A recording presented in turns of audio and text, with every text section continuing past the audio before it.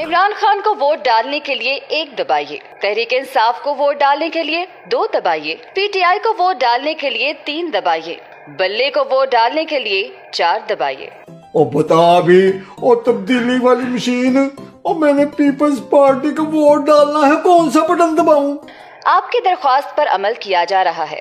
आपका vote PTI को डाल दिया गया है।